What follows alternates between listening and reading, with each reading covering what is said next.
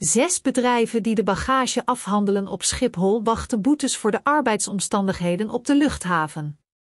De arbeidsinspectie had hun na onthullingen van de NOS en Nieuwsuur in maart opgedragen om het werk van hun bagagesjouwers direct te vergemakkelijken met machines als vacuümheffers en andere tilhulpen. Omdat dit nog altijd niet is geregeld, wil de arbeidsinspectie de zes bedrijven binnenkort dwangsommen opleggen. Die bedragen in totaal 200.000 euro per maand. De hoogste boete voor een van de bagageafhandelaren is 65.000 euro. Bij een controle zagen inspecteurs dat de hulpmiddelen om bagage te tillen nog altijd niet aanwezig zijn. En als de hulpmiddelen wel aanwezig waren, werden ze niet gebruikt.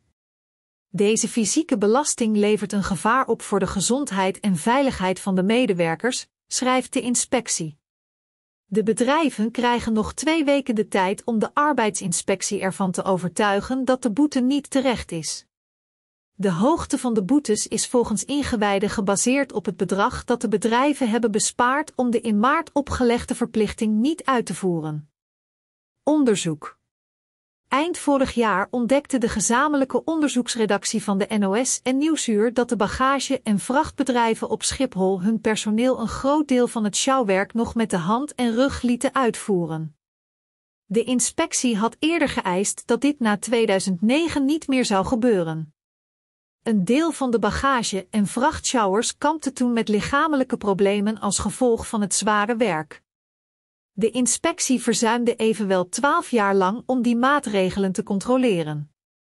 In mei bleek ook nog eens dat Schiphol te weinig doet om medewerkers op de luchthaven te beschermen tegen de uitstoot van de straalmotoren. Zij staan soms dicht bij draaiende motoren van vliegtuigen die aankomen of vertrekken.